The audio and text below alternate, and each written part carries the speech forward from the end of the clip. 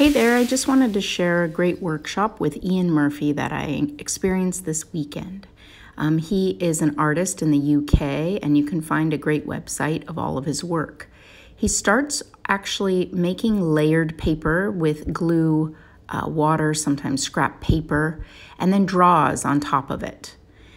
We started off doing the same thing with cardboard, magazines, scrap paper, we used paintbrushes and glue. You can water down the glue if you want. And what that created was a texture already on the paper. We then started choosing imagery. He chooses a lot of architectural imagery. So we chose symbols and images that were interesting to us.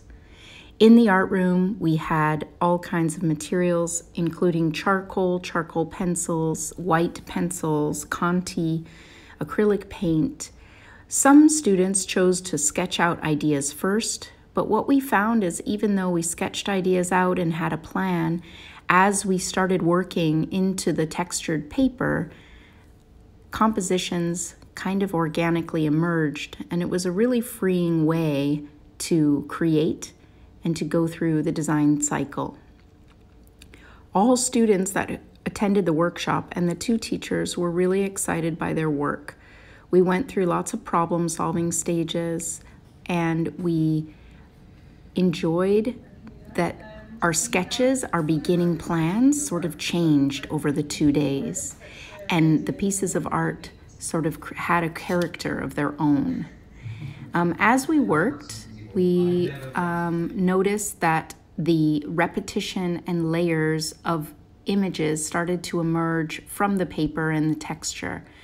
There were really fun, um, creative ways we played with negative and positive space and limited use of color with black, white, umber, and different shades of brown. What I enjoyed most is being free to work with what happened on the paper, and also that it forced me really to look at things. I found myself walking outside and looking at shadows in a different way, almost wanting to paint what I saw as I walked outside. Students handled this um, all in unique ways. They really enjoyed working large and working freely. And I felt after the workshop that I had discovered a new way of creating and planning uh, my art and also a lack of planning, which was really um, inspiring to me. Um, Ian Murphy talks a lot about working in solitude and quiet and being able to focus, and that was also something new for me. I hope you guys enjoy this um, amazing workshop.